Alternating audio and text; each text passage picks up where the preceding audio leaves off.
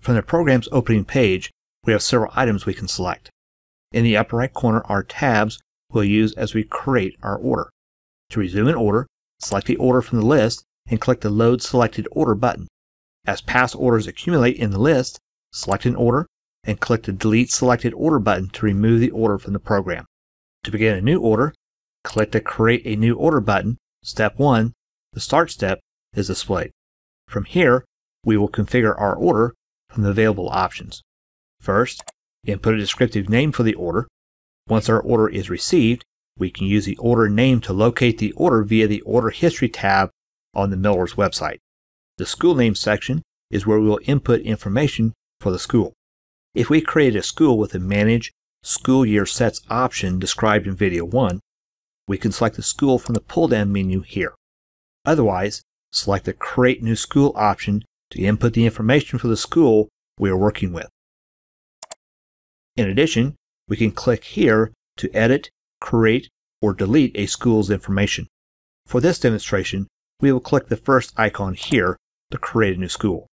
Click inside the school name field and input the name of the school, or from the pull-down menu, choose the name of the school we previously entered into the software. Press the Tab key and input the school year. Input the school's address, and finally, input our contact information and any special notes for the school. Click the Save button. Next, we'll select the type of order we wish to create. For this example, we'll create a standard order, the default option. Please note, additional movies are available that demonstrate how to use proofs for school orders. In the color density adjustments section, we will choose how the order is to be printed. By default, Miller's will adjust each photo in the order. Or click the Do Not Correct option to have the photos printed without any adjustments made by Miller's.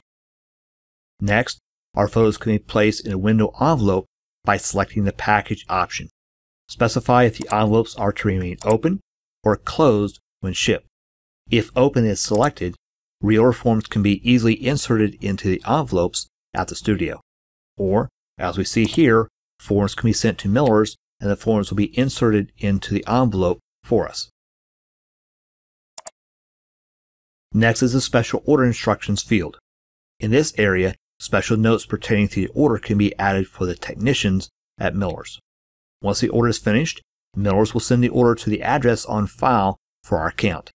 Or click the Dropship checkbox here to have the order sent to a different address. Complete the address fields as we see here. Be certain to input the street address of the recipient and not a post office box. The cost to dropship an order is $6. It is not available for orders shipped COD or cash on delivery. Once we have made our selections, be certain to review our choices.